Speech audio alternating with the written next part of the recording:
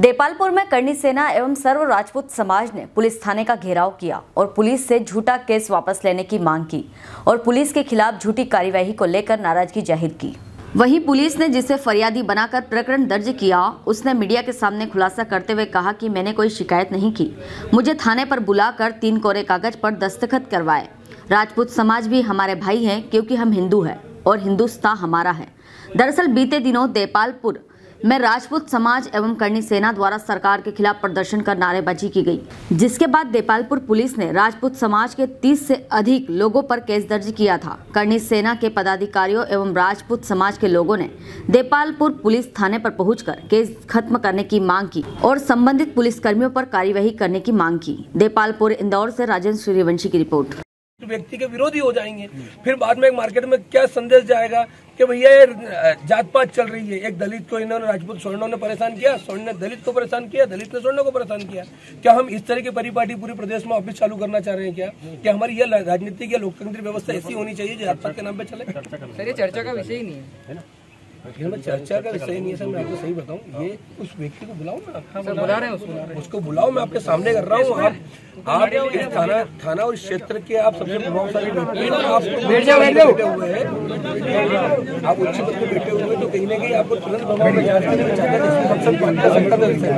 लेकिन आपसे भी अच्छी बातचीत है, हुआ था कि करनी सेना वालों का जुलूस निकल रहा था और मैं मेरी दुकान पर खड़ा था, तब हरवेंद्र यादव जी आए। उन्होंने मुझे बुलाया, बोले कि, यार, पाँच मिनट का काम है तो थाने चल। फिर उन्होंने मुझसे पूछा कि, तेरी समाज क्या है? मैंने बोलता है मेरा समाज, चमार समाज का हूँ मैं। फिर बोलते हैं कि, चल, पाँच मिनट का काम है तो तू थाने चल। मेरे को ऐसे करके बिठाया उन्होंने। बिठाने के पश्चात वो दुकान पे थाने पे ले गए। वहाँ पर तीन या साढ़े तीन घंटे बिठाया। और कोरे कागज़ पर साइन करवाई और मेरा नाम पूछा मेरे माता पिता का नाम पूछा फिर थोड़ी देर बाद उन्होंने छोड़ दिया। आ, मुझे कल फिर मैं कल सुबह आया तो पेपर में न्यूज़ में देखा मैंने कि मेरा उसमें नाम डाला गया लिखा गया कि यशवंत चौहान ने एफआईआर दर्ज कर रहा करवाई करनी सेनाओं के लिए।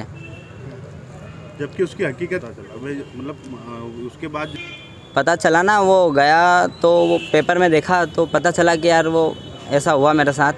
फिर मैंने करनी सेना वालों को मतलब बहुत सारे लोग मेरे पास आए उनने पूछा कि भाई तू तूने हमारे खिलाफ़ कार्रवाई क्यों करी? फिर मैंने उनको बताया कि मैंने कोई कार्रवाई नहीं करी। आ, मुझे ज़बरदस्ती नाम लिखा गया मेरा और ज़बरदस्ती फंसाया गया। उन लोगों के पास किसी के फ़ोन भी आ रहे थे बार बार। कोई दबाव वबाव था शायद उनके ऊपर तो इसलिए पुलिस वालों के ऊपर। इसलिए वो लोग मुझे फंसाना चाहते थे। अच्छा कौन कौन पुलिस वाले थे हरविंद्र जी यादव जी थे और हमारे राठौर साहब थे और चार पाँच पुलिस वाले थे। उनके नाम नहीं पता। नाम क्या था? मेरा देता हूँ रविदास मार्ग में। अभी क्या तुमको किसी प्रकार का कोई डर वगैरह है क्या? अभी डर तो क्या बाद में मुझे कोई तकलीफ़ नहीं आना चाहिए बस मैं तो विनती करता हूँ कि मैं मैं निर्दोष हूँ बिल्कुल निर्दोष हूँ। जबरन में मुझे इस केस में डाला गया और फंसाया गया। राजपूत समाज से आपको कोई आपत्ति? नहीं कोई सब मेरे भाई लोग हैं सब मेरे भाई बंधु हैं राजपूत समाज से बहुत सारे दोस्त भी है मेरे मैं हम साथ में बैठते उठते हैं। मुझे कोई किसी से लेना देना नहीं और सब मेरे भाई है और सब हिंदू हम भाई भाई है।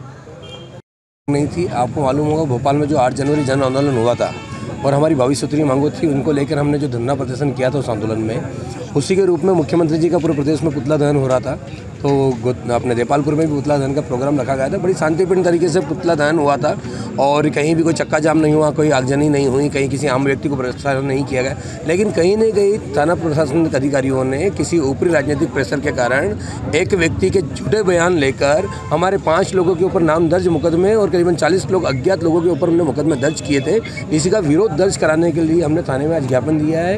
अपने एसपी साहब के नाम पर और एसपी साहब से हमारी चर्चा भी हुई है कि आप इसकी निष्पक्ष जाँच कराएँ और कोई भी दोषी नहीं है ऐसा कोई हुआ नहीं है तो इस मुकदमे को तुरंत प्रभाव से यही समाप्त कर दिया जाए इसलिए हम वहाँ थाने पहुँचे थे। अभी क्या कुछ बात हुई अधिकारियों से? अभी हमें मांगा कि चार दिन में हम जाँच करा के और आप लोगों के ऊपर ही अगर मुकदमा कहीं ना कहीं तर्क संगत नहीं है तो इसको समाप्त कर दिया जाएगा।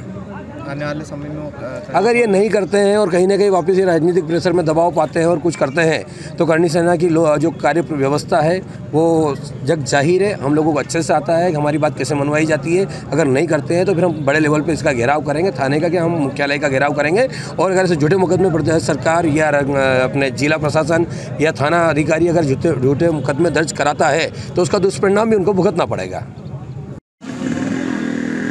से तो उनसे इतनी बातचीत हुई है कि जो अगर उसमें कहीं कोई कार्रवाई जो की जा रही है अगर उसमें कहीं कुछ गलती हुई हो तो उसमें तो मैंने वही कहा कि उसमें हम जाँच करके जो भी सही कार्रवाई होगी वही कार्रवाई करेंगे उसके अंतर्गत। मैम आरोप है कार्रवाई उसके बावजूद पुलिस ने कर ली? वही मैं से सेम बात अपनी रिपीट करना चाहूँगी कि जाँच करके अगर जो भी उसमें सही चीज़ आएगी उसको के ऊपर कार्रवाई की जाएगी। हाँ अभी लगभग कितने लोगों पर कार्रवाई की गई क्या कुछ? उसमें ऐसे सिर्फ़ लगभग संख्या लिखी हुई है तीस चालीस उसमें किसी का कुछ लोगों के नाम और तीस चालीस लिखा हुआ है सर। तो वो क्लियर नहीं है। इकट्ठे लोग थे ना। यदि मान लो मैडम जाँच यदि सही पाई जाती है तो मुकदमे वापस लिए जाएँगे। देखिए एफआईआर तो वापस ली नहीं जाती। उसमें जो भी आगे पॉसिबल हाँ होगा। वो कार्रवाई होगी उसमें। वो तो आगे की कार्रवाई एक बार एफआईआर होने के बाद में जो आगे होता है वही प्रोसेस होगी। थैंक यू हेलो फ्रेंड्स आप देख रहे हैं हमारा channel S W twenty four news हमारे सारे वीडियो सबसे पहले देखने के लिए आप हमारे चैनल को सब्सक्राइब करें और पास में लगे बेल आइकन को दबाना बिल्कुल भी ना भूलें।